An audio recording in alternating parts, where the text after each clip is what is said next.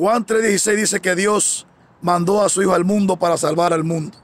Palabra de Dios.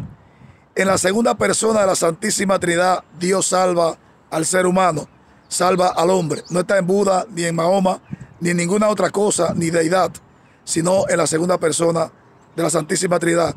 El agua líquida, sólida y gaseosa cambia de parecer, pero no cambia de sustancia.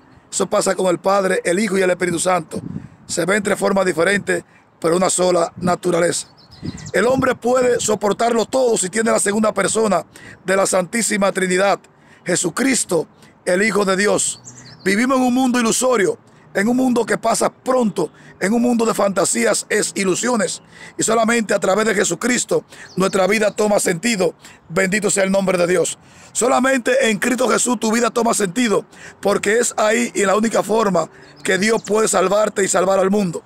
Y Jesús dice la palabra de Dios que el que se niega a creer en el Hijo de Dios ya está condenado, bendito sea el nombre de Dios, por el hecho de no creer en el único Hijo de Dios, bendito sea el nombre de Dios.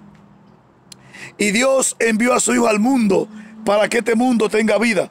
Pero este mundo se ha apartado del amor de Cristo Jesús.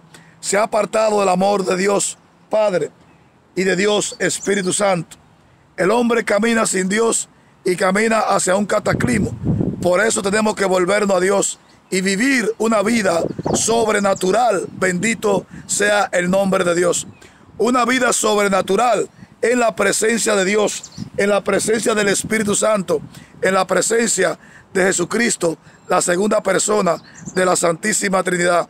Porque es ahí, en la única parte donde tú y yo podemos tener vida plena, vida eterna.